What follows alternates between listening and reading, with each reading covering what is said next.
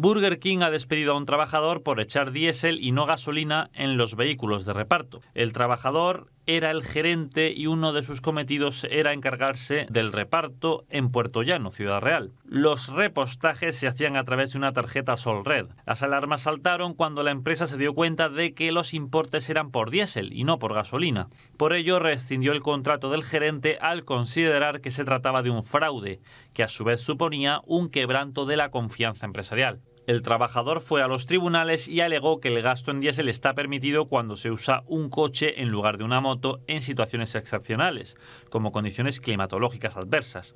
Le dieron la razón y la compañía ha llegado hasta el Tribunal Superior de Justicia de Castilla-La Mancha para defender el despido, que en primera instancia no ha sido validado por los tribunales le dieron la razón pues no se encontraron irregularidades. Burger King fue condenado a abonar una indemnización de 12.502 euros.